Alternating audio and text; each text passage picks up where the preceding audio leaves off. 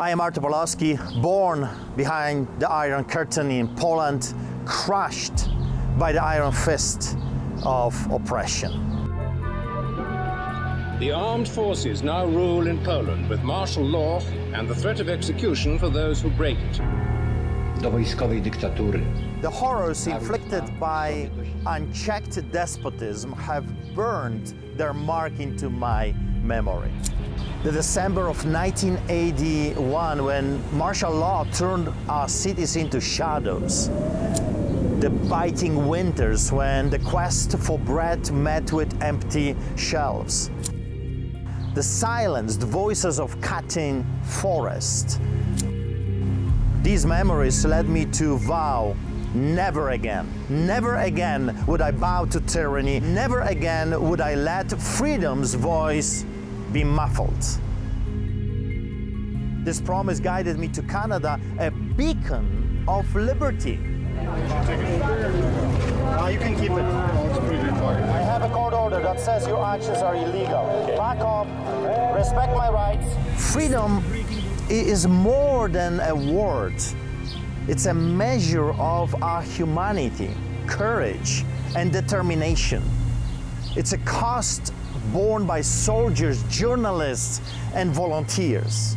We are providing necessity. When the shadow of tyranny found me again, denying me the right to serve the needy, disregarding its own rules, I remembered never again.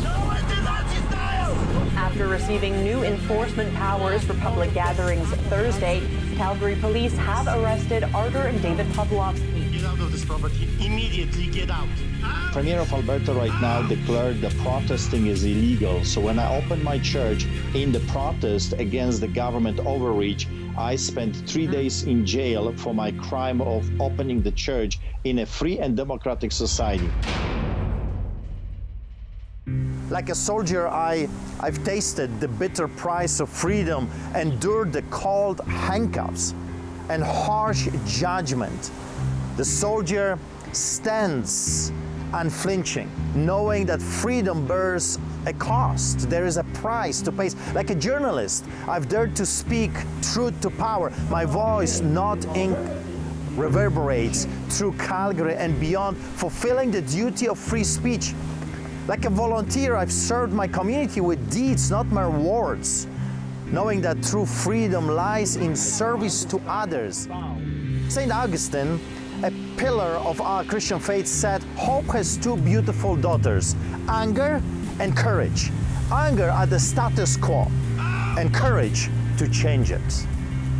From my house arrest, I pose this question to you, honorable members of the European Parliament. How many nights in cold cell would you endure for freedom? What lengths would you traverse to defend your people's rights? You see, I have spent 50 nights in jail standing up for our right to gather and worship. It's time to rise to say never again to face the lingering shadows of the 20th century, to challenge the injustice of today.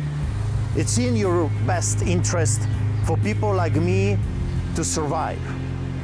Because when we go down, be sure of it, you will be next.